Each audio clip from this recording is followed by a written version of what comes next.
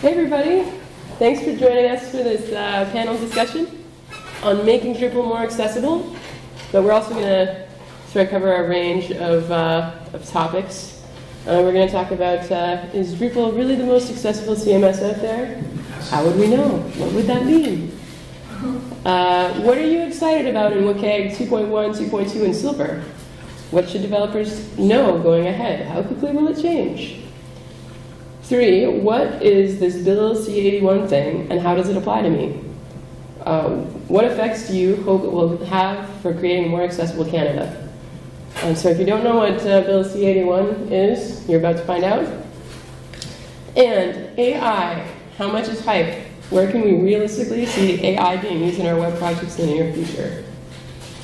Um, so yeah, so um, let's just introduce ourselves. Oh, So first, uh, Denis Boudreau. Hello. Do you want to introduce yourself? Oh, sure. Yeah. Um, so my name is Denis. Uh, live here in Montreal. Um, I've been working in web accessibility for 19 years or so.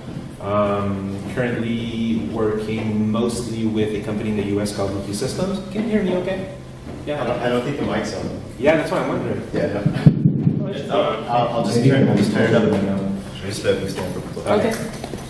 So, um, so yes, working for this American company called Deque Systems. You may have heard of them. You may have heard of a tool that we developed called Axe for uh, accessibility automated testing. Uh, so that's one of the things that we do, and, and a lot of uh, assessments, training, and stuff like that. I'm involved with the W3C in developing the accessibility standards, looking into the future of those standards as well, and, and a bunch of other things related to how we can integrate accessibility in the life cycle in general. That's kind of what I do. Mhm. And, and not a Drupal user, which is kind of ironic. Uh, but, uh, but here to maybe give a different perspective on some of the things that Mike will be super excited about.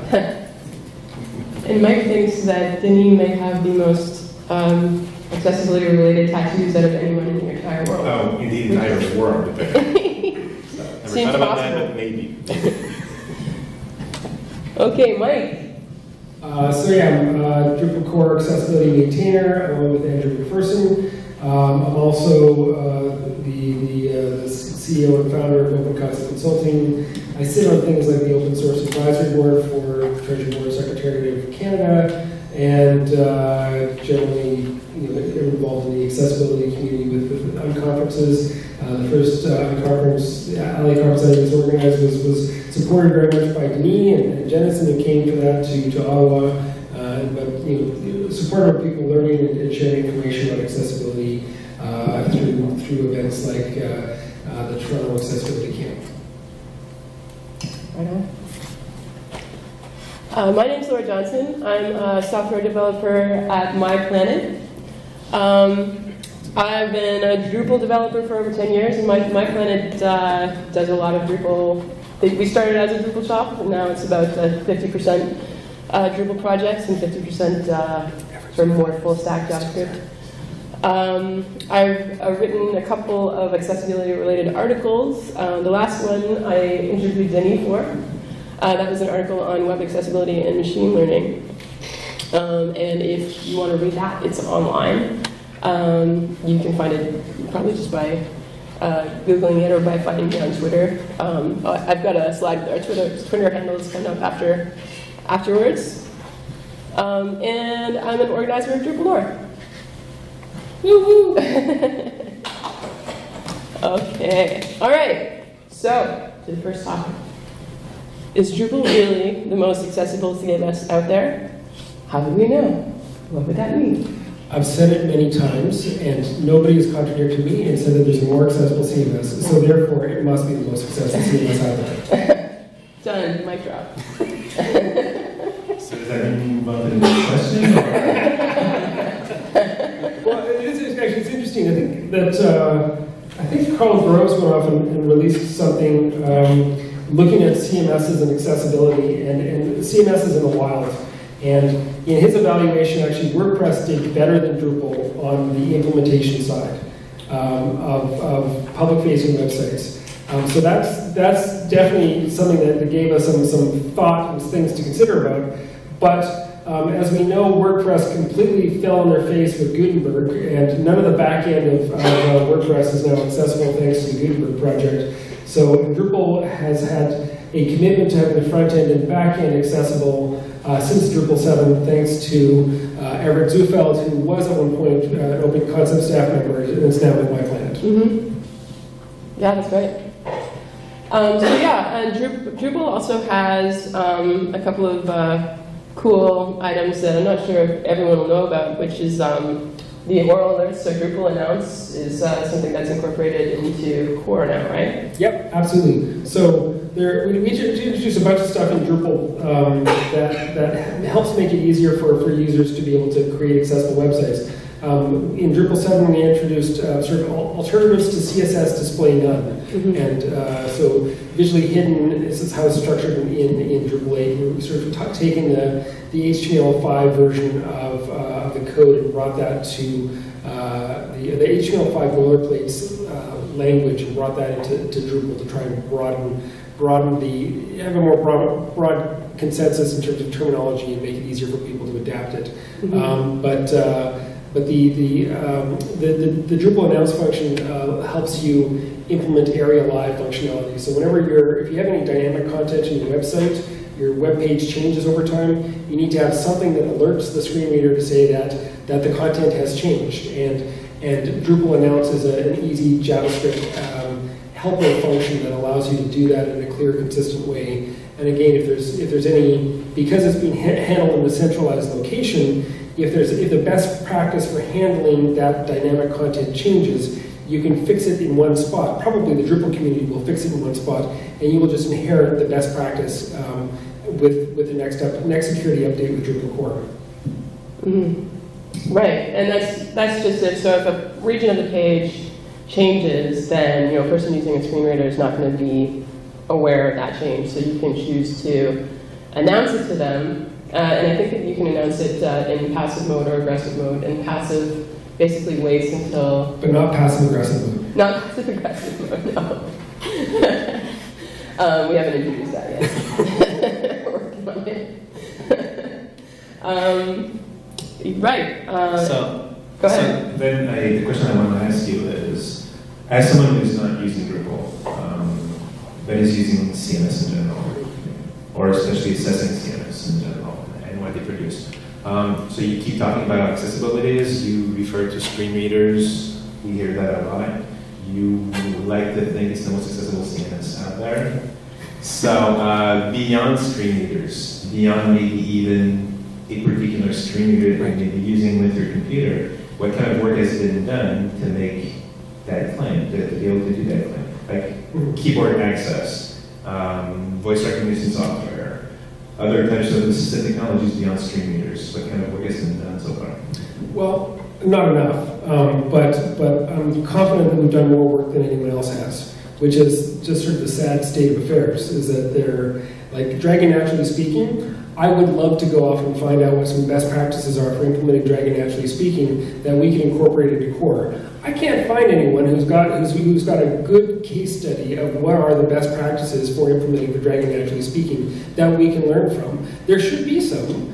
Um, but we're not going to get any help from Dragon Naturally Speaking because they don't believe that this is actually an assistive technology device. And the assistive technology users, I think that the Dragon users, I don't think are a community that are, have, have gathered together and are actively looking at ways to go up and to, to, to work as a community. So if we had had a Dragon Naturally Speaking user in, in the Drupal community that wanted to give some advice and direction, then we'd definitely be able to act on that. But but we don't have any. So we're, we're, we're very much limited to who we have access to in the community and who's willing to step up and say, here's the problems that we face. Um, but, but it's, you know, but Drupal such a, has such a large footprint. Like it's, a, it's over a million websites around the world. It's 3% of the web. Um, it's driving websites from like the CNIB that we built to the RNIB to AbilityNet. Like there's, there's enough organizations out there in the disability sector, in the government sector, in the education sector that that that have tested and evaluated this tool for their own purposes. Um, that you know, I, yeah, I, I, we haven't done enough, but but I don't think anyone else has done more. Fair enough. And, and, and would you feel that, like, if you were to try to evaluate, maybe you did, maybe, maybe your team did, um, try to evaluate just how much accessibility comes out of the box with Drupal and how much is then required by developers to sort of go to distance to really make it accessible. Um, well, yeah, I mean, it, it, it, comes down to, to any, any software that, that, uh, that's open source, you can customize it to meet whatever your requirements are. And so just swapping out one theme from another can very easily throw off the accessibility of, of your site. Um, but what we've tried to do in, in core is to build in those accessibility best practices by default so that, that it's that what is coming, what you get bundled with core, whether it's in the Umami theme, um, whether or it's in the, the new admin theme, um, that, that has been tested for, at least, you know, it's being tested for accessibility, and, and that there's a, um, not that it's, it's being fully tested and that there are going to be some errors, but that it's, accessibility issues are clearly a bug, and, and things can't get into uh, core as a stable release until we've, we've addressed that. And that does include things like our um, the, the layout builder module, like a lot of work is being done on the the, uh, the layout builder module, thanks to uh, to Tim and others to try and, and, and to to make sure that these new initiatives are building in some best practices for for everyone, including keyboard only users and screen readers. Mhm. And there are sort of good examples that you can look to in the core code. Like if, if you're a developer and you want to design something well, you know, there are generally examples of, of accessible ways to do that in, in the code. Yeah. Because we, we do believe that, that the that generally developers are, are lazy, sorry um, to, for the developers here, and that we will always look for patterns in the code that we're using to replicate in order to go off and do what we're trying to do as quickly as and as effectively and as to fit in the, matter, the patterns we're trying to build. So if we build in good patterns that are patterns that can be used by, like those are patterns that can be used and reused and reused. Whereas if we, if you, if you take the approach that so many um, software companies have done and said, we're going to go off and create an accessibility plugin that will bring up your code base from, from what's in core to, to an accessible level. Like, well, only the accessibility geeks are going to notice and care about that, as opposed to everyone, and, and trying to set that default so that, that the assumptions of the community and the culture is that accessibility is, is, is, is, something that is of, of core importance. So you, you mentioned something earlier about uh, what happened to Gutenberg, uh, WordPress 5, and how they found their face with that. Um, is there any any uh, effort going on or any any idea around comparing the latest version of WordPress with the of Drupal in terms of accessibility? Um, there, there's, there's more communication now between the WordPress community and the Drupal community, which is good, both in terms of uh, security, accessibility, and privacy.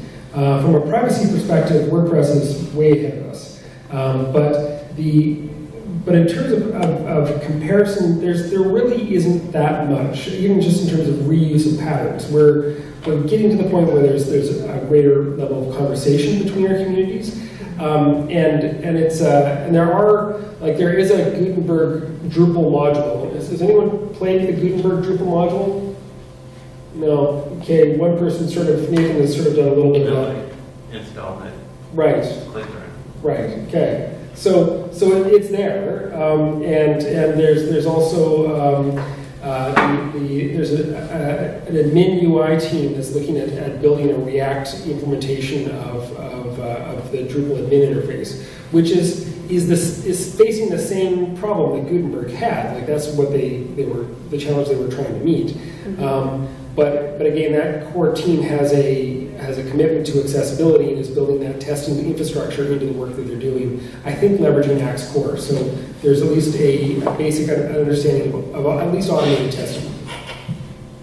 Cool. All right. Um, not that we're leaving the topic of Drupal, but let's move on and we can refer back to Drupal in the next topic too. So just just a quick thing. So I think that WordPress is the second most accessible CMS, and I don't know who the third or fourth would be. Do you have any thoughts on, on out of box? would be hard pressed to say. Ba- ba- Based on experience, um, most of the, the insights that we are seeing or assessing are given by CMS are either Drupal or, or WordPress by far. Um, we see Joomla every now and then, but there's nothing really worth mentioning there. Right. Um, it's been a while since I've noticed any other patterns that were that were worth mentioning. Okay. I mean, accessibility per se is not a topic that we often find in products like these, except for Drupal and, and WordPress, like you said. Mean, I, I've, I've known Mike for yeah, I, I've known Mike for about what ten years, I think. And I remember, since I've known him, it's always been Drupal was the best one, and then it was version 6 was the best one, and version 7 was the best one, and version 8 was the best one.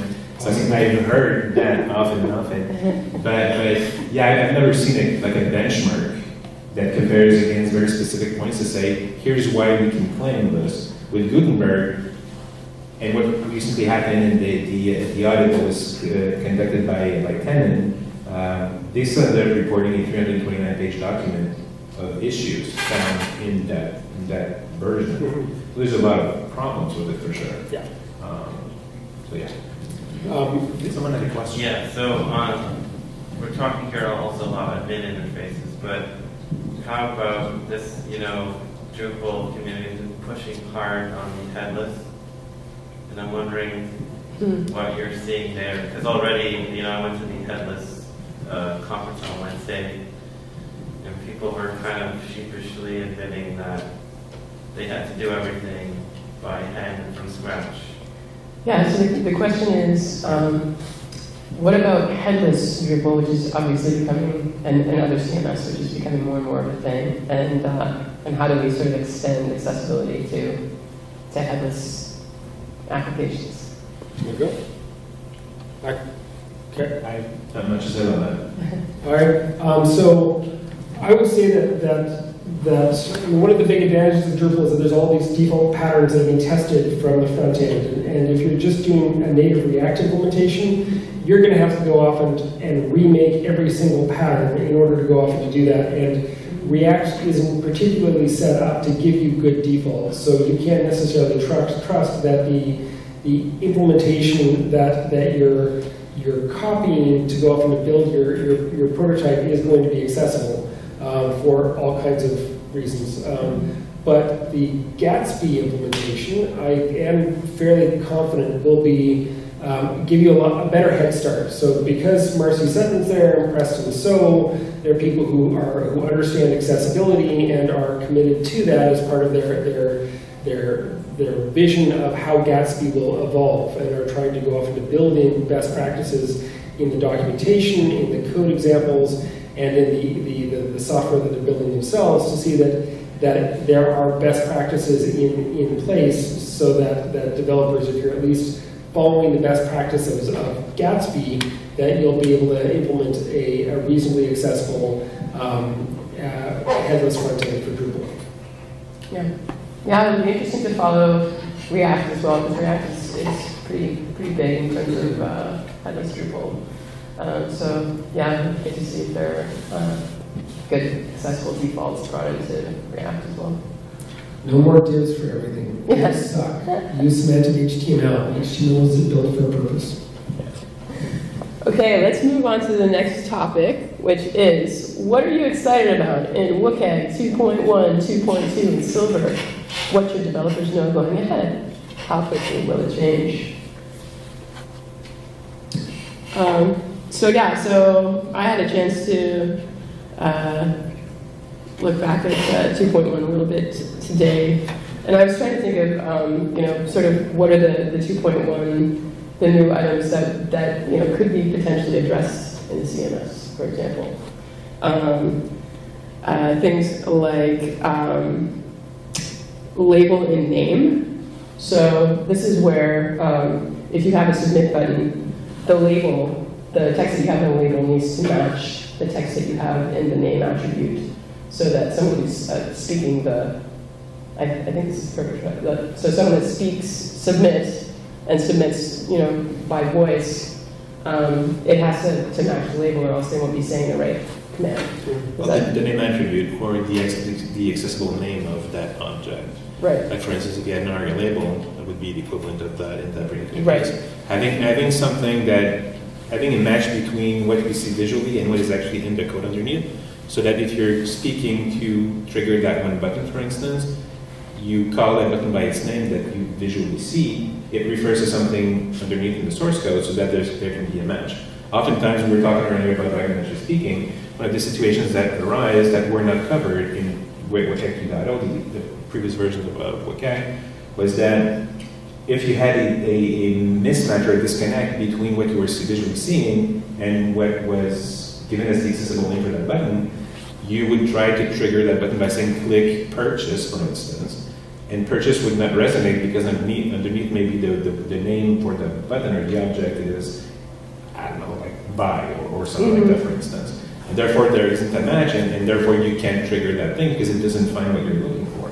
With that success criterion, we're basically ensuring that there's, there's a, a match between both representations so that when you speak that particular command, it resonates to something, it maps to something that exists in the, in the, in the DOM. Right. So that is one example for sure where you, you can standardize a lot of that in, in, in, in core or different areas of, of Drupal. Yeah, and in that case, I don't know if that's something that we would put an example of into like the Drupal core or. So, so, so there's for, for people who are not familiar with, with the Drupal issue queue, there's an accessibility tag mm-hmm. that's that's uh, got all kinds of issues in there. If you just looked at the accessibility issue, you think issue queue, you think that that Drupal is just like the worst for, for accessible period because there's so many errors that are listed there.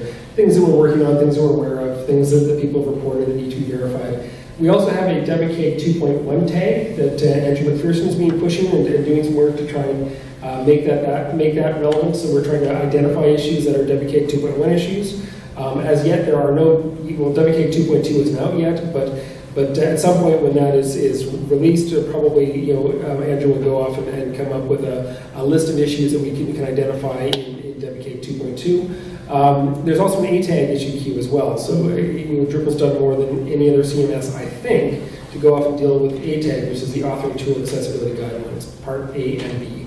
Um, so that's that also is something that sets us apart from everyone else. Mm -hmm. um, and, uh, and again, there's that, that issue queue for, for identifying those issues.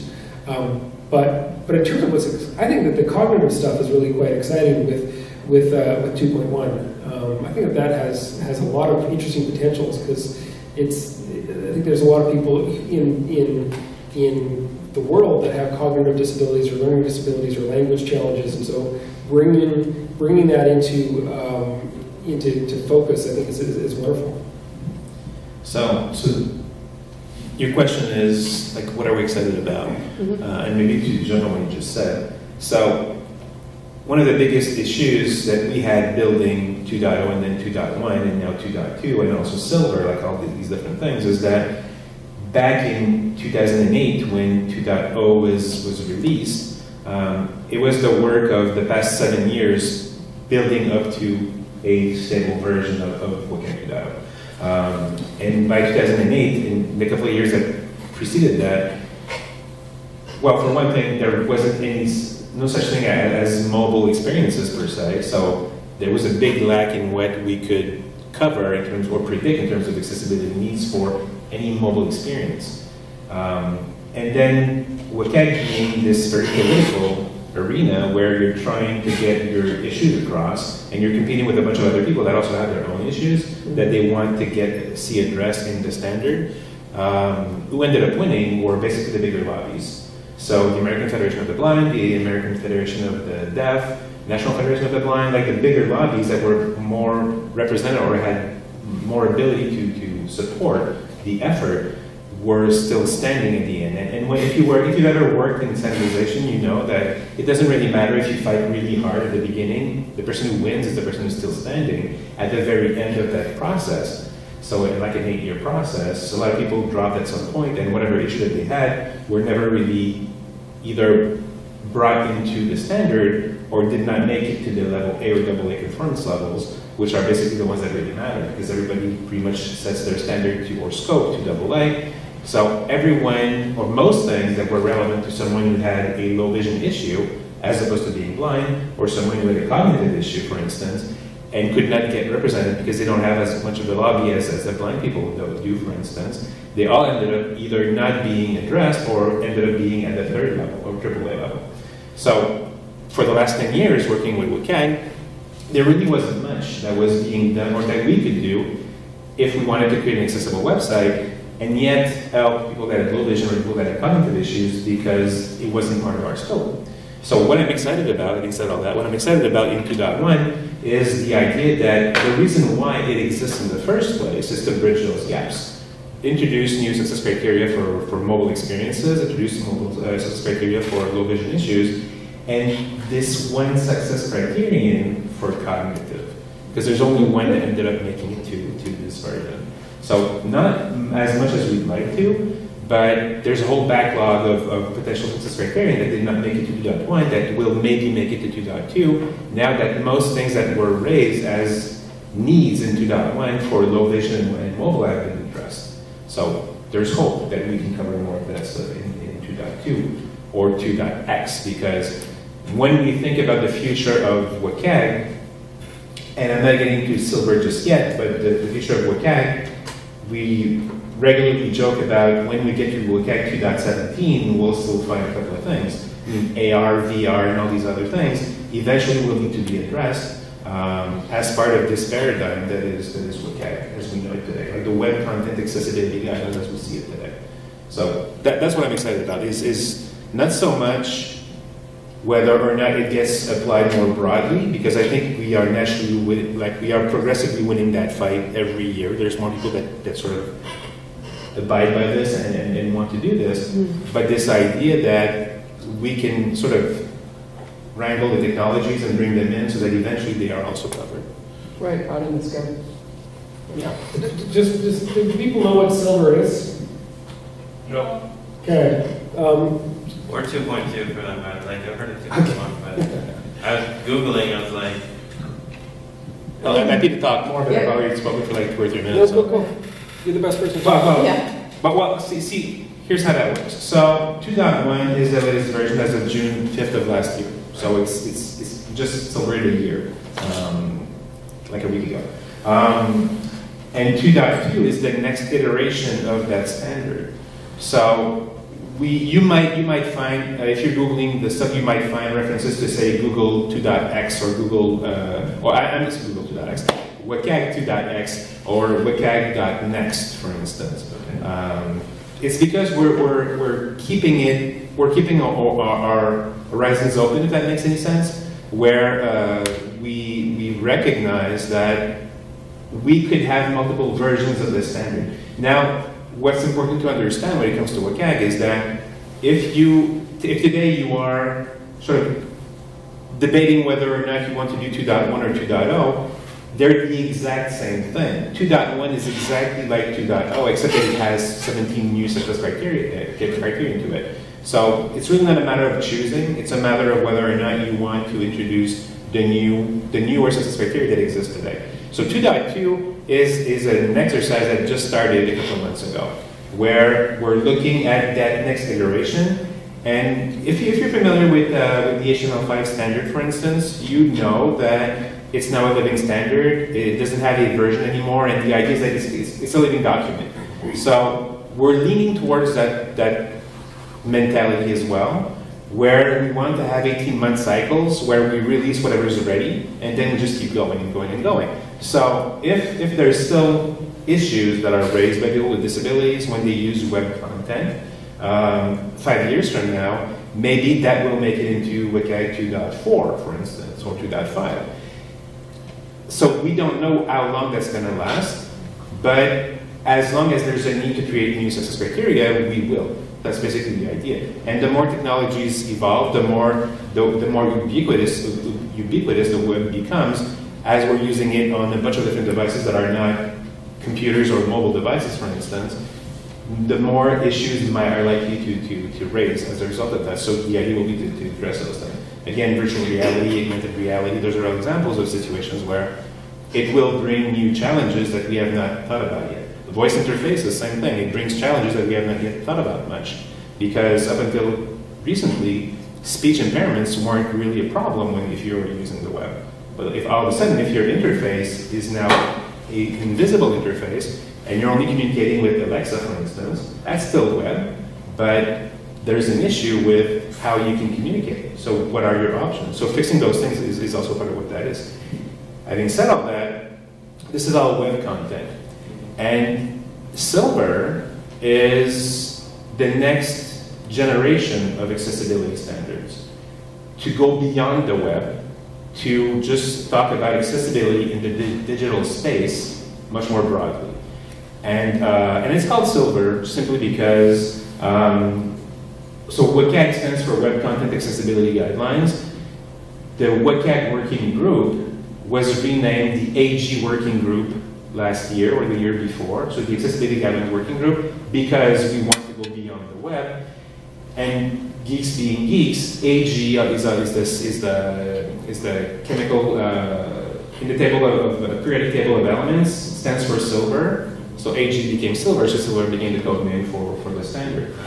Ultimately, it's going to be named something else. It's not going to be named silver for sure.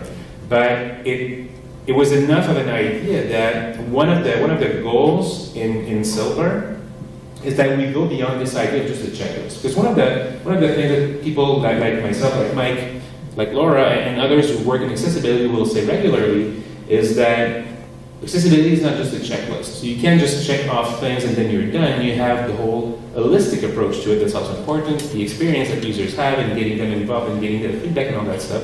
So Silver has this goal to go beyond just a set of requirements to also include uh, like an actual exercise in making your content more usable to people with disabilities because you've involved them in that process. So getting, getting their own feedback and using that to make your site better. So what we're working with, instead of having like a level A, AA, and AAA, as in WCAG, what we're currently working with is this idea that we're going to have like a bronze level, silver level, or gold level. And then if you do the equivalent of a WCAG compliant site, it would be bronze. That would be like your entry level. And then if you start doing other things like involving users in your testing, you would eventually go to silver and, and so gold. So it's like ISO standard, like, oh, is your process meet like some standard process that you guys Yeah, pretty much, pretty much. Um, so it's broadening. It's broadening the, the, the scope so that it's not just a question of checking off a bunch of, check, of items on a checklist, but rather creating an experience that will be as usable as, as possible to people that have disabilities. So like hypothetically, let's say there's a site and you test it with people only as the very last step. They would fail, right? Well, they most likely would fail because a lot of the issues that you would not be able to predict would, would come up at that point. As opposed to if you introduce people with the, in the process earlier, they could find those things earlier. And as you know, I mean, the later you, the more time it takes for you to find a bug in your system, the more costly and complicated it would be to fix it. So it's always this idea of shifting left and bringing it as early on as possible in that process. It's true for accessibility in, in general. If you, if you integrate accessibility in your process at the design level, you will avoid a bunch of issues if you only think about it at the end. And if you involve your users in the process early enough, then they will help you avoid some of the common uh, pitfalls It it follows the same way. So yeah, in that, in that sense, it, it, would be easier if you did, if you did that earlier. That's great news. Okay. If, if people actually do that, because they won't, they won't ever have to. I mean, much in the same way that when, so, so see, when, when WCAG 2 was introduced, with this idea of level of conformance, people were expecting that not everybody would want to go to AAA, but nobody sort of expected that AA would become the scope for most people, or the baseline for most people. So it could very well be that in silver, if it stays bronze, silver, and gold like that, that most people are going to say, you know what, bronze is good enough. Let's just aim for that. Like the government of Canada, for instance, with the new law that, that just came in, mm-hmm. Currently sets at the bar at WCAG 2.0. They could very well at some point say, you know what, we're going to shift to silver or whatever it's called, and now our goal is to reach bronze. So you would still establish a baseline, and then not a lot of people would go beyond that. So same idea as a lot of people, most people never bothered looking at the triple success criteria in WCAG 2. So they're, they're, it's a double-edged sword, I guess, but the, the possibility to do it exists with, I mean, will exist. And I'm, I'm, I'm, talking probably five years before it's actually there. Even though some of us are, like to say it's going to be there in three years, I don't like being part of those meetings every week. I don't believe it, but um, but five years is probably reasonable. Just to say, um, being involved in the Drupal core community, like, it takes a lot of patience and perseverance to do that. Not quite as much as it takes to be involved in the, the, the, the, the changes around Drupal.org. That takes a whole other level of patience and whatnot. But, but being involved in the WC3 community and the mailing lists and the discussions and, and that, that takes a whole, whole other layer of, of, of patience and determination, especially to, to have the, the determination to have sat through those meetings and, and got to know the people and, and deal with the, the struggles for as long as, as, as people like yourself have to exist. Thank you. For six months. It, it it just takes a particular mindset, I think. And having a boss that pays part of your salary to do that also helps quite a bit, uh, because I mean, I mean, serious. I mean, I mean, the, the most the most important contributors are the ones that are backed by their, their employers for X percentage of, of hours each week. Yeah. It's much easier for you to keep fighting a good fight if you're being paid to do it than if you do that on your own time. So, and back to what I was saying earlier, that's what happens for most people. They're, they're fighting for this really important thing that would make a huge difference in someone else's lives and other people's lives, but they're doing that on their free time when they have some, so they can't keep up, and then and then they end up having big problems at some point. So, thank you, but you know, I'm also blessed to have someone who supports me that way. Yeah, totally. Okay, we don't have too much time left. Uh, let's just briefly touch on what is this Bill C-81 thing and how does it apply to me? What effects do you hope it will have for creating a more accessible Canada?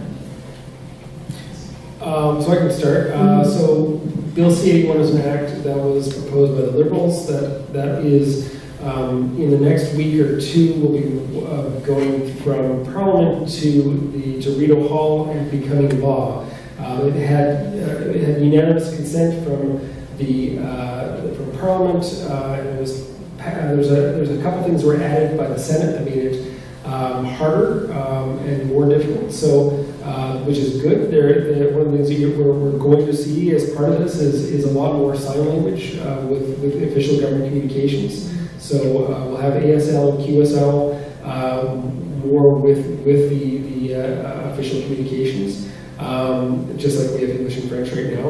Um, but it's essentially to, to go off and take the, um, the current WCAG, commitment toward WCAG 2.0 AA standards for public-facing websites and say, this has to apply to both the public-facing website and the internal-facing back-end stuff. So your admin interface can no longer be you know, crappy code that's completely inaccessible. You're going to need to have to, to build in processes to deal with, with accessibility in the digital front. There's, there's a, a lot of work on, on the built environment to try and make sure that that's accessible, on transportation, on employment, and to, to, to make sure that the government of Canada becomes um, ideally the, the most uh, accessible public sector employee in, in, in the world.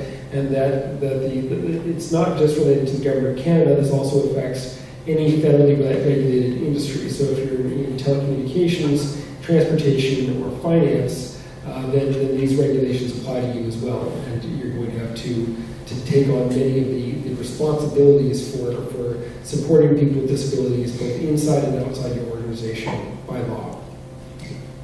Uh, it seems like, uh, I mean, the government often buys like off-the-shelf software.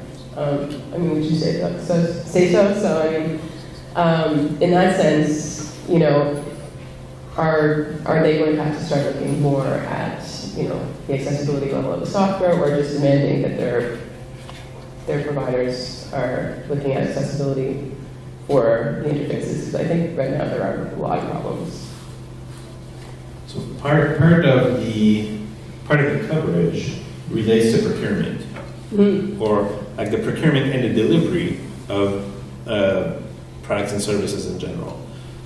Very similar to what we have in the US uh, for something like this. And if you're a, if you're an agency who builds websites, for instance, for the federal government, you are probably already expected to deliver an accessible website unless you work with someone in the government that's completely clueless about what's been going on, they should have asked you for that stuff.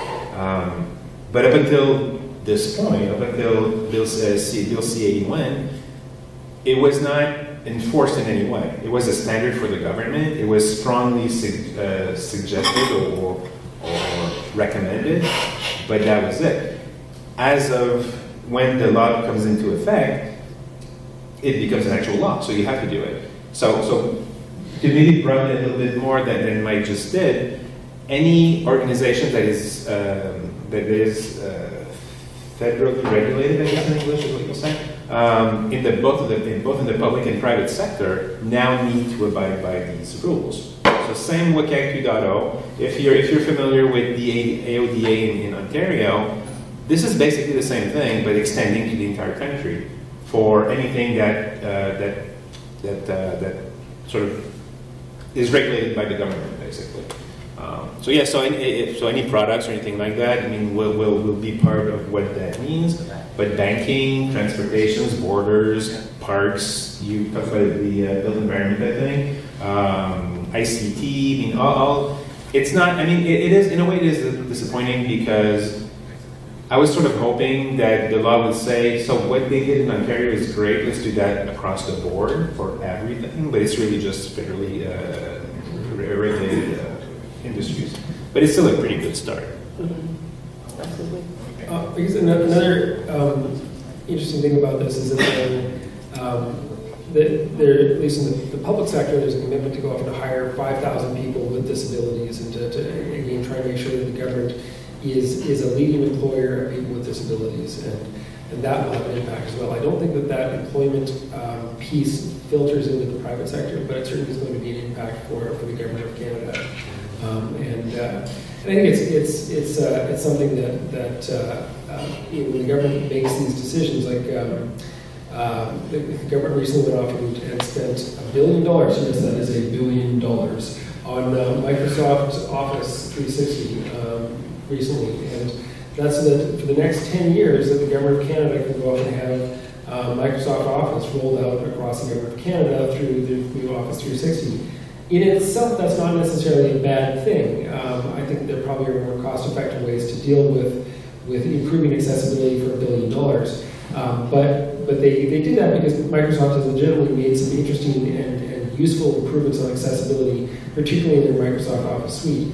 But I don't know whether or not they've done things like enable um, the accessibility evaluation tool by default, so that all public sector employees are, are cut, their first impression of Microsoft or the new Microsoft Word comes with accessibility, um, in, accessibility enabled by default, and that the accessibility checker needs to be explicitly turned off in order to go off and to, to, to, uh, to do that. I also don't think they're doing things like, how do we try and make sure that we're aggregating that information to see that that the accessibility, that you know how inaccessible documents are in each department or by each staff person, and to see what are you doing to try to make sure that the quality of the documents that are being produced by the government of Canada are are getting more and more accessible over time. So like there's it's it's it's it's always sort of two steps forward, three steps back, and, and you know uh, there's a lot of work still to be done. Okay, um, let us move along to our last topic. Uh, AI. How much is hype? Where can we realistically see AI being used in our web projects in the near future? So I guess AI and CMS. Um, I was going to talk about there's um, there's one uh, module that I've seen that's already built called uh, automatic alternative text. Right. And um, so it's um, you know I've, I've, thought about different ways of that this might be possible, but it uses uh, node pre-save. So um, in node pre-save, when a node is saved, it checks to see if there are any images in the node that don't have uh, alternative text if they don't, it sends the image to Microsoft Azure, Azure right. and then uh, a, a, caption gets generated automatically. Um, so, you know, obviously that's one way to do it. Um, I don't know, like, what, what, do you think about, uh, about that?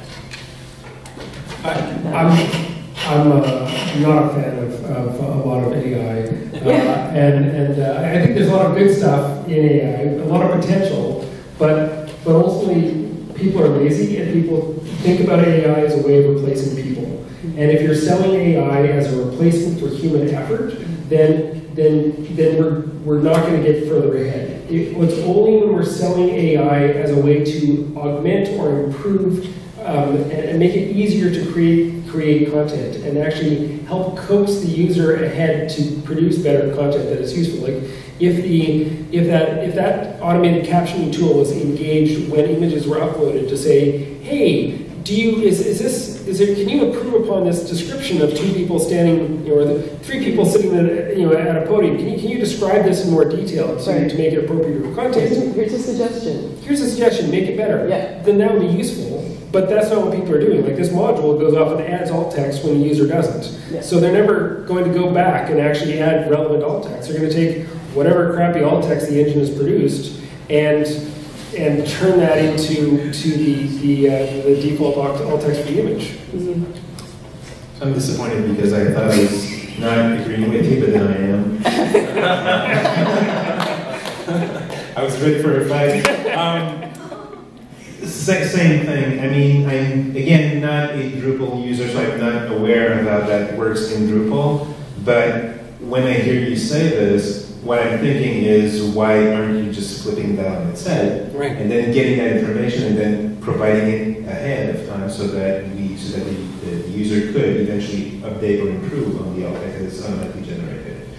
Um, whether we're talking about like an automated image recognition algorithm that gets pretty good at describing every like every little piece of an image and then conveying that as a as a list basically because that's how it started. Uh, I, I think Facebook was the first one doing that in 2016, where if you were uploading an image and, and you didn't have alt text to it, it would break it down into a bunch of things and tell you, and the alt text would be something like this image may contain, colon, and then two people smiling, blue sky, body of water, boat. And that was it. And, and their goal ultimately is to be able to feed that and, and, and work with the information that they know about you to say, it's not just two people smiling, it's actually your sister and her brother. Or your brother. Um, so, so, so feed that because they know stuff about you. But again, it's always after the fact. So I agree with you on that part. I happen to be pretty excited about, about AI in general because I see the potential to make accessibility work easier. Not so much because I want to be lazy about it, but because I know people don't necessarily have that as their top priority. Right. And if the tools allow you to do these things, then you might learn to do that yourself. But much like developers today who are taught to use React or Angular don't really know how to code manually, Mhm. I don't know they need to learn all the nuts and bolts of accessibility to create accessible content. I don't know that you should at the very least. Right. So if you have a tool that all of a sudden starts generating captions for you because it, it relies on Google's uh, neural machine translating system, and then they use that to leverage a particular uh, like you have you have um, you have uh, speech to text, and then you turn that into a caption, and like all that stuff is automated, and you can you can automate this caption yourself, much like you could Zoom right now, but with a more reliable, I guess, or accurate level of or accurate level of accuracy. anyway, um, I mean, it's less work for you. Right. So I see a lot of potential in, in things like that. And, and the exciting piece about, about AI is when you look at into all of these little tasks, because basically that's really what that is. I mean, if you go at the, like the essence of what artificial intelligence is and what we're doing is you have one very specific task, which can be pretty simple, but it gets very, very complex because you don't have the ability to cover all the data, data that goes with it. Like image recognition in, in itself is, in and of itself, is very simple when you can recognize an image of a cat because you've already documented millions of images of, of cat. Like the data makes it possible, Right. And the, compute, the computing power makes it possible. So whether we're talking about lip recognition software to help you with, with making the, uh, the, the, the caption on a video more, and more accessible, or you're leveraging the ability to translate content or the ability to recognize images or recognize spaces, like in Drupal, for instance, another thing that can happen is instead of relying on passwords so much, what if you rely on the camera and you can do facial recognition much like the, the, uh, the iPhone X is doing now? And like just based on Apple's data when it comes to that, when they introduced the um, Touch ID, uh, so, so this is Apple claiming something, so you, you have to take it for yourself, of course, because they, they, they would tell you that the error rate with Touch ID was out, one out of 50,000 attempts. You might think your turn was coming regularly, um, but it's one out of 50,000, so they say. And with face recognition, they brought it down to one out of a million is not working. So, I mean, there's a lot of improvement there. You don't have to remember, and you know, I mean, you're using your phones to pay stuff or anything. You don't have to remember typing your passwords. That's convenient for us. It's that much more convenient for someone who has difficulty typing, for instance. So all these things improve accessibility. When you have a very, um, very reliable image recognition algorithm, for instance, uh, that you can introduce in an automated testing tool, like, like in Axe Core, for instance, right now it's very easy for us to parse a page and, and extract all the images that don't have an alt attribute, for instance. But whether we send it to a cloud or whether we just we can just have our own bank of images that we draw from that would be open source or whatever. I mean, being able to, to use that the same tool and say all of a sudden you have alt text, but it sounds like it's not very accurate. Would you like to review this? We could do that in the automated tool again. I would not expect someone to have to learn accessibility so much if the tools were better, were getting them better towards the expected outcome. The, the, the big area that I think that, that, that there's there's hope for for me for, for automated. I mean, there's, there are certain things like plain language. Like there's the the Hemingway app does a great job of trying to go off and produce uh, plain language for English. I don't know if there is an equivalent for French to the Hemingway app, but it's a, a really interesting tool. Again, like how do you how do you deal with other languages, whether it's Cree or Ojibwe or Farsi? Like we, we, we English is, is, is a, the dominant trade language in, in, the, in tech right now. So all these tools are being built for English. But but you know then there's you know thousands of other languages out there that that, that are not getting the attention and support that they, they would need. Um, but I, I think I have a lot of hope for for looking at, at data. So so looking at bugs in code. Um, open source tools are used all over the internet and. Um, there's little effort to go off and to take the, the bugs that are out there and to fix these problems at the source. Um, tools like SiteImprove and Axe Core could be collecting this information and then, then saying, okay, then pointing an AI to that data and saying, okay, where are the bugs? Are there any patterns that we can see here that we can find in the, in the source libraries out there? And we can, can we use this, these, these tools to go off and to submit tentative bugs on these, these open source projects so you're able to fix them? Or at least have somebody look at it and validate it. Like, you know, the, the Axe Core bot thinks this is an issue. Please go off and have a human uh, take a look at at this issue with this module because it's used by, you know, in according to the ranks, you know, 10,000 websites around the world and is, is, is currently being trafficked by, you know, like a, million people a day go off and visit these websites. So please address this if you can. Like that would be a useful thing to go off and, and generate, which, which AI could do fairly easily, I think, because it is based on data and code and logic and, and could allow us to, to more quickly advance and identify some of these issues. Um, that's where I have the hope for, for a lot of AI. All right, I think uh, we've gone over time.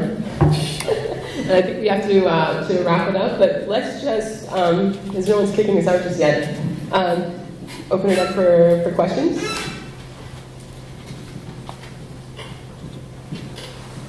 So I want to go back for the first uh, part of your presentation, uh, the panel, where you were talking if Drupal.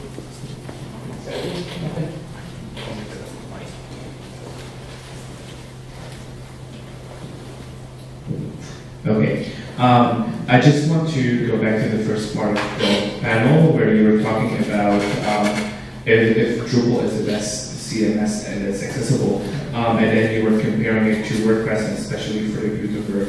Um, if you want to compare it to WordPress before Gutenberg, how do you, which which one would be more accessible? And I would suggest to, if you want to compare Drupal 7, because Drupal 8 is definitely more accessible than Drupal 7 with a lot of functionality added to the core. So if you want to compare Drupal 7 versus WordPress pre-Gutenberg, which which one would be more accessible in that way? Well, I mean, Carl's study basically said that there are more accessible WordPress implementations out there in his study than there were Drupal implementations. And that's, that's based on, on just a, a, a random sampling of, of, tools that tend to be used against it still something that's that's that's that's a really compelling argument for for that. And one of the great things the WordPress community has done is they're they're looking at the WordPress themes and they're evaluating accessibility of the themes. They have a, a pattern that they're using to say this theme has been evaluated for accessibility, and there's basically a flag, or a thumbs up to go and say this one's good. Where the Drupal community, we don't have anything like that. We don't have anything like that. And also, like, really impressed by, by the momentum of the WordPress community. There's some really amazing, strong people there, and they have regular meetings that they, they bring people in on Slack and they have discussions, they work through issue queues. The Drupal community has never had that level of organization, and that could be a reflection of how I organize things. But uh, it's a, uh, you know, again, there's some- wonderful stuff that's being done there. But, but still, if you're looking at at WordPress before Gutenberg, um, they made a commitment to, W- the WordPress community made a commitment to go up and have every new commit be WCAG 2.0 AA compliant, but they failed in that. It was just PR. And, and I think that the, the Automattic folks have not really gotten behind accessibility as much as Dries and, and the other core maintainers of the Drupal community have gotten behind uh, accessibility in Drupal. Well, they clearly haven't because, That's, I'm sorry, Oh, no, I was just gonna say that um, that's something that I've been wondering is, you know, the, the way that the security team has their little seal of approval to modules, could we have an accessibility team that adds their accessibility seal to, uh, to themes? Yeah, for sure. Yeah. So, so to your point about whether or not uh, Automattic has, has sort of taken that seriously, clearly they did not. Mullenweg completely dismissed that issue initially and it took a huge backlash from the community for them to realize that this was actually something important, and then they contracted uh, Ken to, to get that audit. Um, you also mentioned the other thing that I want to talk about, which is the accessibility teams or the accessibility ready teams in WordPress. Um, I, I, yes, those exist, but I, I don't know that it's fair to compare. That's the thing. I don't know that it's fair to compare how many sites come out as accessible from WordPress or from Drupal. Drupal, uh, I mean, WordPress powers about a third of the sites on the web, basically. So, in comparison, with all due respect, in comparison, Drupal is it's 3%. a very small piece. Three whole percent, three whole percent.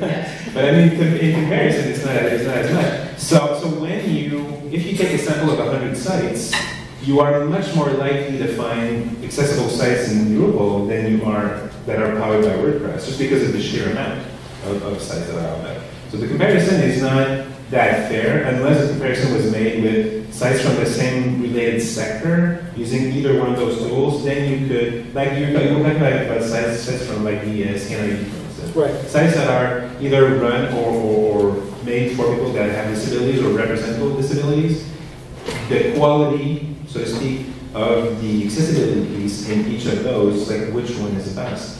Um, because even if the, the like accessibility ready sites or themes rather in WordPress, even if you use those, you can still screw it up really bad if you don't know what you're doing. So maybe your, your starting point is not bad, but if you start, if you don't know what you're doing, you can screw that up pretty quickly. So it would not be accessible. It's not, a- it's not a guarantee it will be also. Um, and just a follow-up question, you, you, uh, you mentioned that, uh, WordPress with Gutenberg is not as accessible as it was before. Were you talking about Gutenberg as an admin interface or as whatever, whatever you update your content, why is the code that's published is uh, inaccessible? I was talking about the, the admin interface itself. Um, I don't know, I haven't heard any evaluations of how, how the output from Gutenberg is in terms of accessibility. It it might be fun. Yeah, from what I can tell, it's still based on the themes that you use. If you still use an accessibility ready theme, you would do pretty well. The backlash really was because all of a sudden people that were had a disability were not no longer able to use the interface, the admin, once they moved to version five. Okay. Uh, so pretty pretty big deal, of course, if you if you've been used to the the autonomous doing that, and all of a sudden you can't. Okay. All right, uh, we have to wrap it up, so thanks, everybody. That was really fun.